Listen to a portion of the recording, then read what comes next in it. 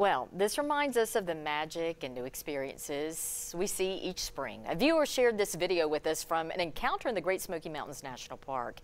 Now, we all have to learn how to cross the road at some point in our lives, but for these bear cubs, it seems like it's a little daunting. You can hear them crying for mama, who made it look much easier than her little ones, all while caring for those four cubs. So some of you have asked if that was usual for a mother bear. We took your questions to the experts at TWRA.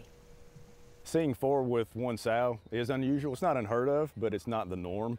Uh, usually, you know, uh, one or two is pretty common, even three.